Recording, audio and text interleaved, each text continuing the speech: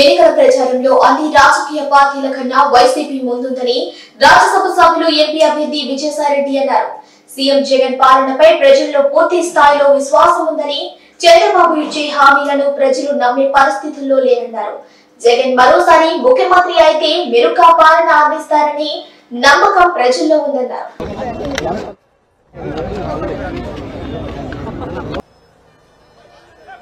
ఎనగలు నేను మొత్తం వచ్చేయాలి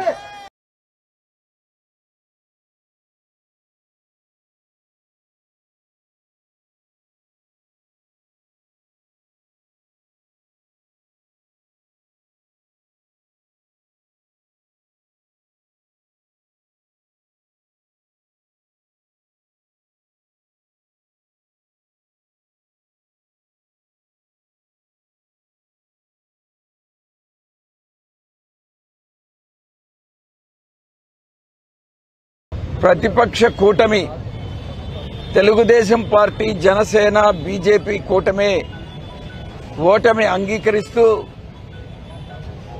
వైఎస్ఆర్ కాంగ్రెస్ పార్టీ విజయం సాధించబోతా ఉంది. తిరిగి రాష్ట్రంలో అధికారం చేపట్టబోతా ఉంది. జగన్మోహన్ రెడ్డి గారు మరోసారి ముఖ్యమంత్రి కాబోతున్నారు అన్నటువంటి విషయాన్ని వారి ఇంటెలిజెన్స్ వర్గాల ద్వారా వారి సర్వేల ద్వారా చాలా స్పష్టంగా వాళ్ళల్లో వాళ్ళు డిస్కస్ చేసుకుని ఆ రిపోర్ట్స్ అన్ని ఒకరికొకరు షేర్ చేసుకోవడం జరిగింది. వాళ్ళ అంచనాల ప్రకారమే కూటమి అంచనాల ప్రకారమే వైఎస్ఆర్ కాంగ్రెస్ పార్టీకి ఒంటరిగా పోటీ చేసినప్పటికీ కూడా నూట ఇరవై స్థానాలు వస్తా ఉన్నాయి. ఇది వాళ్ళు ప్రతిపక్ష కూటమికి ఉన్న రిపోర్టు. ఈ నేపథ్యంలో చంద్రబాబు నాయుడు నిరాశ నిస్పృహలలోనై తన ఒక ఫ్రస్ట్రేషన్లో ఆయన చేసేటటువంటి నికృష్ట చర్యలు ఆయన మాట్లాడుతున్నటువంటి మాటలు రాజ్యాంగ విరుద్ధంగాను అసభ్యకరంగాను ఒక సమాజంలో ఒక మనుషులు మాట్లాడుకునేటటువంటి భాష కాకుండా సర్వ సర్వ సమాజం అంగీకరించినటువంటి ఆమోద సమాజానికి ఆమోదయోగ్యమైనటువంటి భాష కాకుండా గౌరవ ముఖ్యమంత్రి వర్యుల్ని ఏదో నానా రకరకాల మాటల్ని అంటూ తను ఒక ఫ్రస్ట్రేషన్లోకి ఈరోజు వెళ్ళిపోతా ఉన్నాడు. చాలా స్పష్టంగా తెలుస్తూ ఉంది. హత్యా ప్రయత్నాలు చేస్తూ ఉన్నాడు. స్వయంగా ముఖ్యమంత్రి గారి మీదనే హత్యా ప్రయత్నం చేయించాడు. హోంమంత్రి తానేటి వనిత మీద ఆయన ఆమె గృహం మీద దాడి చేయించాడు. పిన్నెల్లి రామకృష్ణారెడ్డి గారి సతీమణ్ణి దాడి చేయించాడు. మా యొక్క రాజ్యసభ సభ్యుడు ఆర్ కృష్ణయ్య గారి మీద దాడి చేయించాడు. ఈ రకమైనటువంటి దుశ్చర్యలకు పాల్పడతా ఉన్నాడు. ఇక్కడ నెల్లూరు జిల్లాకు వస్తే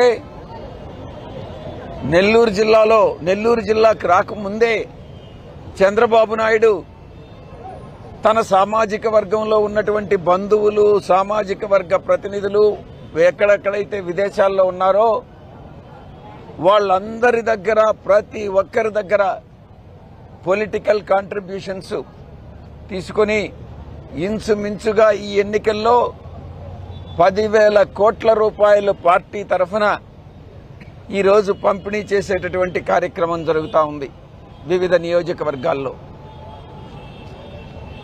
డబ్బు పంపిణీ అన్నటువంటిది చట్ట విరుద్ధమైనప్పటికీ కూడా ఆ చట్ట విరుద్ధమైనటువంటి చర్యల్లో ఇంకా అనైతికమైనటువంటి చర్య తనకు కావాల్సిన వాళ్ళకి తన సామాజిక వర్గానికి ఎక్కువిస్తూ ఎవరైతే బడుగు బలహీన వర్గాలని పేదలను తన అస Chandrababu Naidu అసహించుకుంటాడో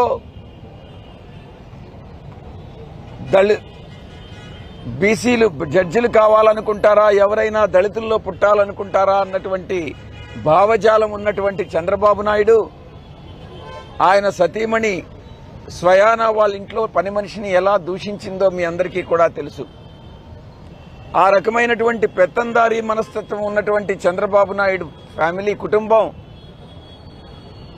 even money money డిస్ట్రిబ్యూషన్లో కూడా పంపిణీలో కూడా ఈ యొక్క కుల మత తారతమ్యాలు చూపిస్తూ తనకు కావలసిన వాళ్ళకి ఒక్కొక్క ఓటుకి తొమ్మిది వేలు పదివేల రూపాయలు ఇస్తూ దళితులకు మాత్రం దళితులు బడుగు బలహీన వర్గాలు పేదలకు మాత్రం రెండు వేల రూపాయలు మూడు వేల రూపాయలు ఇస్తూ ఈరోజు అనైతిక చట్ట విరుద్ధమైన చర్యల్లో కూడా ఇంకా అనైతికమైనటువంటి చర్యలకు నిరాశ నిస్పృహల్లో అతను ఈరోజు కొట్టుమిట్టాడుతూ ఈ పనులు చేస్తూ ఉన్నాడు. ప్రజలందరూ కూడా గమనిస్తూ ఉన్నారు. నేను ఒక్కటే చెప్తా ఉన్నా మీరు చేసేటటువంటి చట్ట విరుద్ధమైనటువంటి కార్యకలాపాలకు మీరు తప్పకుండా చట్టబద్ధంగా మీరు బాధ్యులవుతారు. ఏ ప్రభుత్వం అయితే అధికారంలోకి వస్తుందో ఆ ప్రభుత్వం రాబోయేటటువంటి ప్రభుత్వం తప్పకుండా మీ పైన చర్యలు తీసుకుంటుంది అన్నటువంటి విషయాన్ని నేను తెలియజేస్తా ఉన్నా. నేను ఎక్కడా ఇంతవరకు నాకున్నటువంటి అనుభవంలో కొద్దిపాటి అనుభవంలో కులాన్ని బట్టి ఒక రేటుని ఫిక్స్ చేయడం కానీ ఒక్కొక్క కులానికి ఒక్కొక్క ఓటుకి కులానికి సంబంధించి ఓటుకి రేటు డిసైడ్ చేయడం అన్నటువంటిది నేను మొట్టమొదటిసారిగా నా జీవితంలో చూస్తా ఉన్నాను. అది కూడా నాకు నలభై సంవత్సరాల అనుభవం ఉంది అనుకొంచి గొప్పలు చెప్పుకునేటటువంటి చంద్రబాబు నాయుడు ఒక కులతత్వవాది. ఆ కులతత్వవాదికి మరో ఇద్దరు కులతత్వవాదులు జోడై రామోజీరావు కానీ రాధాకృష్ణ కానీ ఈరోజు ఈ యొక్క ప్రజాస్వామ్యాన్ని ప్రజాస్వామ్యం యొక్క స్తంభూల స్తంభాలనే కూలగొట్టేటటువంటి ప్రయత్నాలు చేస్తూ ఉన్నారు. ఈ విషయాల గురించి మరింత వివరంగా మా యొక్క జిల్లా అధ్యక్షులు ఎవిడెన్సెస్తో కూడా మీకు ఇవ్వడం జరుగుతుంది. ఇక నెల్లూరు జిల్లాకు వస్తే నెల్లూరు జిల్లాలో కూడా నెల్లూరు సిటీ అభ్యర్థి నారాయణ మాట్లాడినటువంటి మాటలు రికార్డు పూరితంగా అవి రికార్డ్ చేసి మీకు రేపు వినిపించడం జరుగుతుంది. అది విడుదల చేయడం జరుగుతుంది. ఏ రకంగా కుల వివక్ష చూపిస్తున్నారు? ఇది ఎలా ఈ యొక్క దేశం ఎక్కడికి వెళ్తుంది? ప్రజాస్వామ్య వ్యవస్థ ఎలా ఉంటుంది? ఈ ప్రజాస్వామ్యాన్ని కాపాడాల్సినటువంటి వ్యవస్థలన్నీ ఏం చేస్తున్నాయి? ఎలక్షన్ కమిషన్ కానీ వీళ్ళందరూ కూడా ఇప్పుడంతా కూడా టోటల్ మొత్తం దేశమంతా కూడా ఎలక్షన్ కమిషన్ చేతుల్లో ఉంది. చూస్తూ ఒక ప్రేక్షక పాత్ర వహిస్తున్నటువంటి ఎలక్షన్ కమిషన్ని ఏమనాలో అర్థం కావట్లేదు. కులాన్ని బట్టి ఓటుకు రేటు రేటు నిర్ణయించడం అన్నటువంటిది నేను ఫస్ట్ మొట్టమొదటిసారిగా నా జీవితంలో చూస్తా ఉన్నా. కాబట్టి నారాయణ విషయం తనకు డబ్బుంది కదా అనని అన్ని వివిధ వర్గాల దగ్గర నుంచి ఈరోజు అప్పులు తీసుకొచ్చి తను అక్రమార్జనతో సంపాదించినటువంటి డబ్బునంతా కూడా పెట్టి ఇక్కడ సిటీలో నెల్లూరు సిటీలో గెలవాలనుకున్నటువంటి ప్రయత్నం చేస్తూ ఉన్నాడు. నేను ఒక్కటే చెప్పుకుంటా అభ్యర్థిస్తా ఉన్నాను ప్రజల్ని. మీరు ఎంత తెలుగుదేశం పార్టీ అభ్యర్థులు ఎంత డబ్బు ఇస్తారో అంత డబ్బు తీసుకోండి.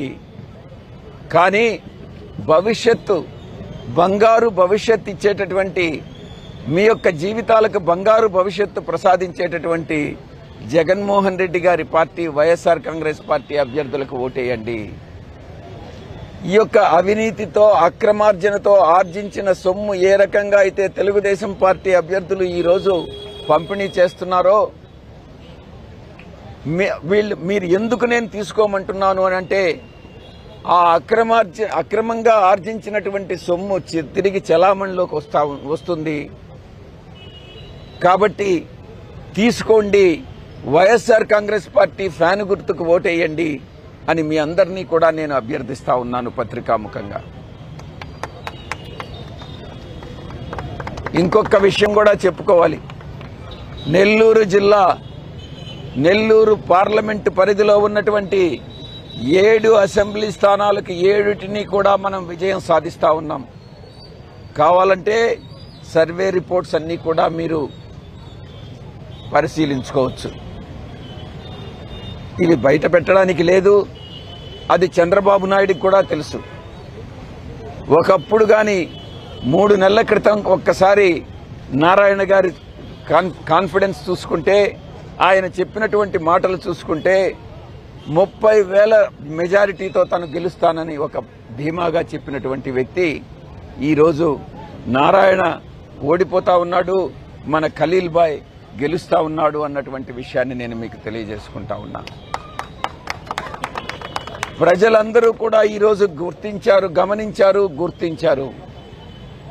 ఏ పార్టీ ఏ ప్రభుత్వం ఏ నాయకుడు తమకు సమన్యాయం చేయగలడు? అన్ని వర్గాలకి అన్ని సామాజిక వర్గాలకి అన్ని మతాలకి అది ముస్లిం సోదరులైనా క్రిస్టియన్ సోదరులైనా హిందూ సోదరులైనా ఎవరైనా కూడా అన్ని మతాలకి అన్ని కులాలకి సమన్యాయం చేయగలిగింది ఒక్క వైఎస్ఆర్ కాంగ్రెస్ పార్టీ జగన్మోహన్ రెడ్డి గారే. కాబట్టి మనం మరొక్కసారి ప్రభుత్వాన్ని ఏర్పాటు చేసుకోబోతున్నాం. ఈ యొక్క సందర్భంగా మళ్ళీ తిరిగి ఎన్నికల తర్వాత విజయోత్సవ సభలో మళ్ళీ మనం అందరం కూడా కలుసుకుంటామనని మీ అందరికీ తెలియజేసుకుంటూ